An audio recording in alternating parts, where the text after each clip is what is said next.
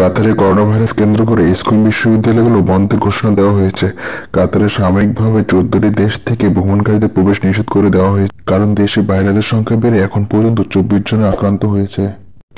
কাতার সরকার আরও বলেন এই বরখাস্ত থাকবে পরবর্তী নির্দেশনা না দেওয়া পর্যন্ত কাতারের জনস্বাস্থ্য মন্ত্রক স্কুল ও বিশ্ববিদ্যালয় বন্ধ করার একদিন পরে সকল ক্যাফ ও রেস্তোরাঁ নিষিদ্ধ করা হয়েছেন কাতারি কর্তৃপক্ষ বলেছেন, এই নিষিদ্ধ লঙ্ঘনকারী যে কোনো ব্যক্তির বিরুদ্ধে আইনি ব্যবস্থা নেওয়া হবে। সিদ্ধান্তটি করাবের সংক্রমণ এড়াতে প্রতিরোধমূলক ব্যবস্থা একটি অংশ ছিল। মঙ্গলবারে নিষেধাজ্ঞা শুরু হয়েছে এবং পরবর্তী বিজ্ঞপ্তি না দেওয়া পর্যন্ত কার্যকর থাকবে বলে কাতার জনস্বাস্থ্য মন্ত্রী এমওপিএইচ এক বিবৃতিতে জানিয়েছেন।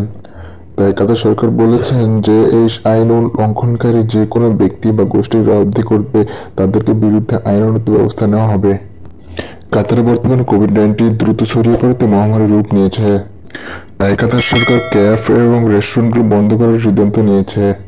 কাতার সরকার যে চৌধুরী দেশে ভ্রমণ নিষেধ করিয়ে দিয়েছেন, দেশগুলো হলো এক বাংলাদেশ, দুই চীন, Bharat, Iran, Iraq Lebanon, Nepal, Pakistan, Philippine, দক্ষিণ কোরিয়া, শ্রীলঙ্কা, সিরিয়া ও থাইল্যান্ড। এদিকে মিশরে করোনা ভাইরাসের ভয়ে কাতারিতে যাতায়াত নিষেধ করে দিয়েছেন মিশর সরকার। ইরানি নাগরিকের প্রথম করোনা ভাইরাস শনাক্ত করা হয়েছে কাতারে। বাংলাদেশিরা যারা জানুয়ারি মাসে ছুটিতে দেশে গিয়েছেন, তার আপাতত কাতারে ফিরতে পারবে না।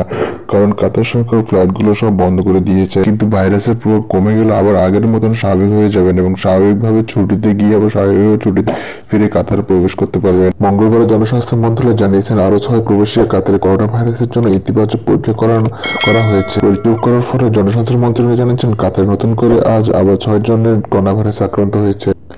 আক্রান্তকারীরা ছয় জনের ছিল প্রবাসী। কাতার বর্তমান করোনা ভাইরাসের কারণে দেশটি ঝুঁকিতে রয়েছে তাই বর্তমানে যারা কাতার প্রবাসী বা কাতারে বাস করেন, তারা অবশ্যই নিজের খেয়াল অনুযায়ী থাকবেন এবং বেশি লোকের ভিড়ে যাবেন সবসময় পরিষ্কার পরিচ্ছন্ন থাকবেন হ্যান্ড ওয়াশ এবং মুখে মাস্ক ব্যবহার করে বাইরে চলাফেরা করবেন। আজকের ভিডিওটি এই পর্যন্ত। ভিডিওটি ভালো লেগে থাকলে চ্যানেলটি সাবস্ক্রাইব করুন এবং লাইক, কমেন্ট শেয়ার করে জানিয়ে দেন এবং নিজে ভালো থাকেন, অন্যকে ভালো রাখুন। ভালো থাকবেন। আল্লাহ হাফেজ।